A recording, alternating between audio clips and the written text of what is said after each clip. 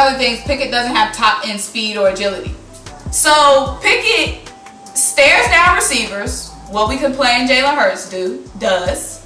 He can't throw guys open, which we complain Jalen Hurts can't. And he's not active or mobile. The biggest selling point for Jalen Hurts. So he got the negatives that Jalen Hurts has, but he doesn't have the biggest positive that Jalen Hurts has, which is mobility. So in my mind, why we gonna get this man Picky when we got an upgraded Picky, which is Jalen Hurts? Yeah, yeah. What's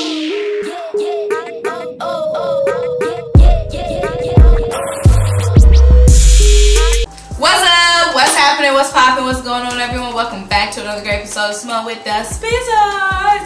I'm Symone bringing out daily sports talk. So if you're new here, if you're over here you haven't already subscribed to the channel yet, make sure you stop what you're doing, leave a comment, subscribe, keep rocking with me. Also, make sure you check out the links down below. The first link is to buy me a coffee to help fuel this channel that you love so much. The second link is to shop the official Symone with the Spizzers, a merch collection. Get you the classic tee, the wavy tee that I've been rocking lately, or the brand new Jalen Make It Hurts tee. Well, ain't brand new no more, but you know.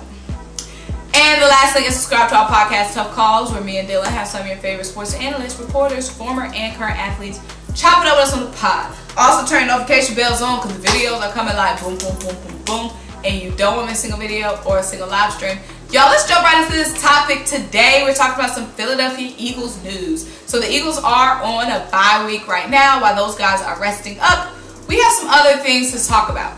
So it came out yesterday that Kenny Pickett, starting quarterback for Pitt and also 2021 Heisman Trophy finalist, is a Philadelphia Eagles fan. Now, it's not surprising that he's an Eagles fan, and in his words, a big Eagles fan. Now, he's saying he grew up a big Eagles fan. That could have changed.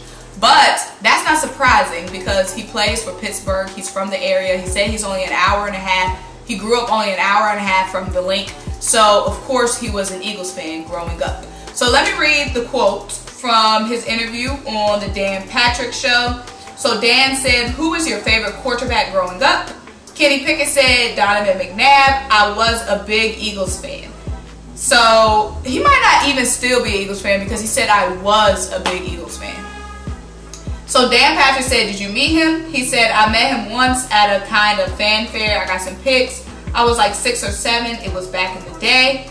Dan Patrick said, do you remember what it was like, that feeling? Kenny said, I do. I was a huge Eagles fan. I used to go to the games with my dad all the time. It took like an hour and a half from my house. We grew up, and we grew up big Eagles fans. So his family is our Eagles fans. That one famous game against Green Bay and Brett Favre, I was at that game back in I think 2005 maybe. So yeah, it was way back. So Dan Patrick asked him, he says, the Eagles have three first round picks there, Kenny. Kenny Pickett said, they do. They do. He said it twice, they do. Now, Kenny Pickett being an Eagles fan, of course, he plays football at Pitt um, in state. He grew up an hour and a half from the Eagles. So he says his family is an Eagles fan. Um, does that mean I still want to use a first round pick on Kenny Pickett? That would be a no, a big fat no. Now, I wouldn't mind drafting Kenny Pickett at some point, but our three first round picks don't need to go. None of those three first round picks need to go to quarterback because none of those quarterbacks, including Kenny Pickett, are giving better than Gardner Minshew or Jalen Hurts.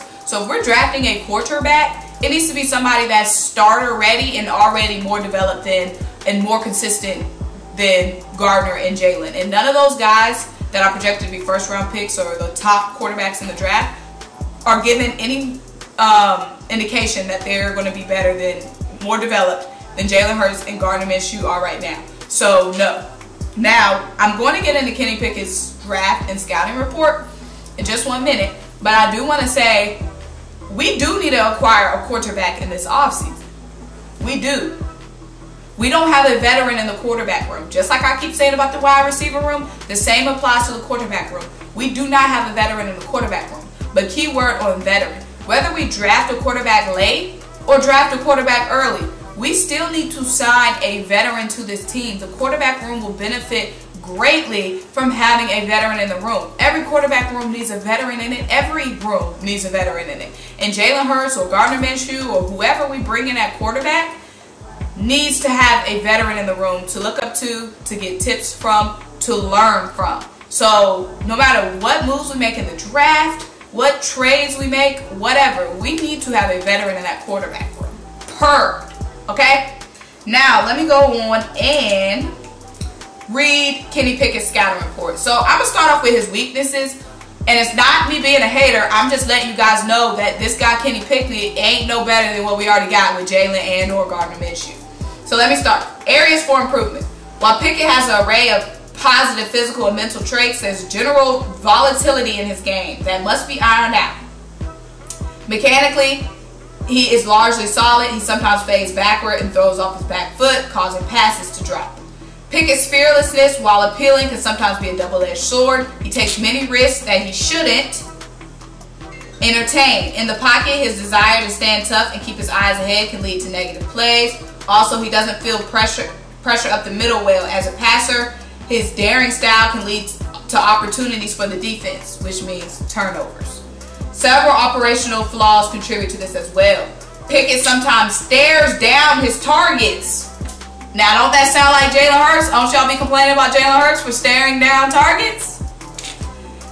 Keeping an eye, keying in defenders too close on the ball, he could more consistently use his eyes to deceive. He can he, Pickett sometimes stares down his targets, keying in de defenders too close on the ball. He could more consistently use his eyes to deceive defenders. Don't y'all say that about Jalen Hurts? Furthermore, he's sometimes late to pull the trigger when receivers break. Now, who that sound like? Additionally, Pickett's precision and ball placement can improve. He sometimes misses high when trying to force the ball ahead. While he has the capacity to adjust his ball placement, he must be more consistent there. He doesn't always throw his receivers open. Is now what I said Jalen Hurts need to do. And he needs to work off leverage more effectively. Among other things, Pickett doesn't have top end speed or agility. So Pickett stares down receivers, what we complain Jalen Hurts do does. He can't throw guys open, which we complain Jalen Hurts can't. And he's not active or mobile. The biggest selling point for Jalen Hurts. So he got the negatives that Jalen Hurts has, but he doesn't have the biggest positive that Jalen Hurts has, which is mobility. So in my mind, why we gonna get this man picky when we got an upgraded picky, which is Jalen Hurts? Even if he is a good athlete. Additionally, the Pitt offense employs a lot of quick throws, sometimes limiting Pickett's progression work. So, my only thing is, this guy Pickett, keep cheering on the birds. I like that. You can keep being a fan, but he's no better than what we already have in the quarterback room, y'all. So why are we bringing another young project when we need to be bringing in a veteran or a proven guy? That's just my two, three, four, five, six, seven, eight, nine, ten cents. You know what I'm saying? Ten cents, a dime. You know what I'm saying? A dime. So Pickett, glad you're an Eagles fan. Keep rooting for the birds. You know what I'm saying? We can use all the fans, but he not giving no we need to spend a first round or early pick on. But let me know what you guys think. Make sure you like this video, leave a comment, subscribe, keep rocking with me. Also, make sure you check out the links down below. Buy me that coffee. Subscribe to the podcast, turn your notification bells on, and so I'll talk to you guys next time.